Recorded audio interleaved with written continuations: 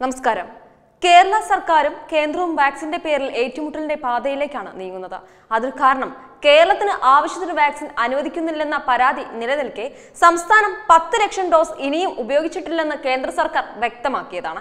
അതേസമയം കേരളത്തിലെ കോവിഡ് നിയന്ത്രണ രീതികളെ ആരോഗ്യമന്ത്രി വിമർശിക്കുകയും ചെയ്തു. ശക്തമായ ആരോഗ്യ പരിരക്ഷാ സൗകര്യങ്ങൾ ഉണ്ടായിട്ടും രോഗവ്യാപനം കുറയാത്തത് പ്രതിരോധ മാർഗങ്ങൾ ദുർബലമാണെന്നതിന്റെ തെളിവല്ലേ എന്നും മന്ത്രി ചോദിച്ചു. മാത്രമല്ല കേരളത്തിലെ കോവിഡ് കണക്കുകളാണ് ഇതിന് കാരണം. മുപ്പത്തിനാലായിരത്തി എണ്ണൂറ്റി അറുപത്തൊന്നാണ് ഇന്നലത്തെ പ്രതിദിന രോഗികൾ. ഇതിൽ പന്ത്രണ്ടായിരത്തി എണ്ണൂറ്റി പതിനെട്ട് പേരും കേരളത്തിൽ നിന്നുമാണ്. കേന്ദ്രം നൽകിയ വാക്സിൻ ഉപയോഗത്തിൽ സംസ്ഥാനത്തോട് റിപ്പോർട്ട് നൽകിയിട്ടുണ്ട്. അവ വിനിയോഗിച്ച ശേഷം കൂടുതൽ നൽകാൻ കേന്ദ്രം തയ്യാറാണെന്ന് എം പിമാരായ ടി എൻ പ്രതാപൻ ഹൈബീഡൻ എന്നിവരെ ആരോഗ്യമന്ത്രി മൻസുഖ് മാണ്ഡവ്യ അറിയിച്ചു. കേരളത്തിന് വേണ്ട വാക്സിൻ ലഭ്യമാക്കണമെന്ന ആവശ്യവുമായി കേന്ദ്രത്തെ പ്രധാനനും ഹൈബിയും സമീപിച്ചപ്പോഴായിരുന്നു മന്ത്രിയുടെ പ്രതികരണം. രണ്ടാം കുത്തിവയ്പ്പിന് ആവശ്യമായ ഇരുപത്തഞ്ച് ലക്ഷം ഡോസ് ഉൾപ്പെടെ ഈ മാസം അറുപത് ലക്ഷം ഡോസ് കൂടി വേണമെന്ന് പ്രധാനമന്ത്രി നരേന്ദ്രമോദിയുമായി നടത്തിയ കൂടിക്കാഴ്ചയിൽ മുഖ്യമന്ത്രി പിണറായി വിജയൻ ആവശ്യപ്പെട്ടിരുന്നു. ഇത് നടക്കില്ലെന്ന സൂചനയാണ് കേന്ദ്രം ഇപ്പോൾ നൽകുന്നത്.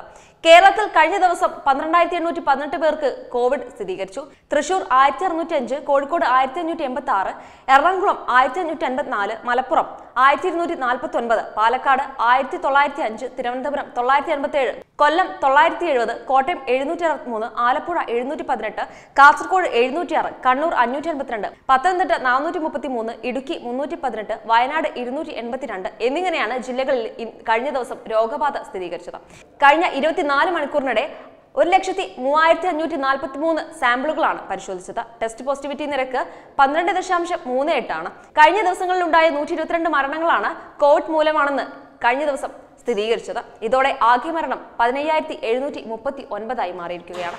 ഇന്ന് രോഗം സ്ഥിരീകരിച്ചവരിൽ എഴുപത്തി ആറ് പേർ സംസ്ഥാനത്തിന് പുറത്തു നിന്നും വന്നവരാണ്. പന്ത്രണ്ടായിരത്തി മുപ്പത്തിനാല് പേർക്ക് സമ്പർക്കത്തിലൂടെയാണ് രോഗം ബാധിച്ചത്.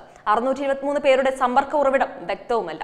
തൃശൂർ ആയിരത്തി അഞ്ഞൂറ്റി എൺപത്തി ഒൻപത് കോഴിക്കോട് ആയിരത്തി അഞ്ഞൂറ്റി അറുപത്തെട്ട് എറണാകുളം ആയിരത്തി അഞ്ഞൂറ്റി പന്ത്രണ്ട് മലപ്പുറം ആയിരത്തി ഒരുന്നൂറ്റി എഴുപത്തി അഞ്ച് പാലക്കാട് എഴുന്നൂറ്റി എഴുപത് തിരുവനന്തപുരം എണ്ണൂറ്റി തൊണ്ണൂറ്റി ഒൻപത് കൊല്ലം തൊള്ളായിരത്തി അറുപത്തി ഏഴ് കോട്ടയം എഴുന്നൂറ്റി ഇരുപത്തിരണ്ട് ആലപ്പുഴ അറുന്നൂറ്റി എൺപത്തഞ്ച് കാസർഗോഡ് അറുന്നൂറ്റി എൺപത്തി എട്ട് കണ്ണൂർ നാനൂറ്റി എഴുപത് പത്തനംതിട്ട നാനൂറ്റി ഇരുപത്തി മൂന്ന് ഇടുക്കി ഇരുന്നൂറ്റി തൊണ്ണൂറ്റി ഒന്ന് വയനാട് ഇരുന്നൂറ്റി എഴുപത്തഞ്ച് എന്നിങ്ങനെയാണ് സമ്പർക്കത്തിലൂടെ രോഗം ബാധിച്ചത്. അതുകൊണ്ട് തന്നെയാണ് വാക്സിനേഷൻ കേരളത്തിന് പ്രതിരോധത്തിൽ അനിവാര്യമാണെന്ന് പറയുന്നത്.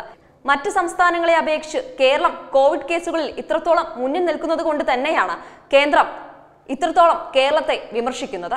Web desk Tathwamayi news.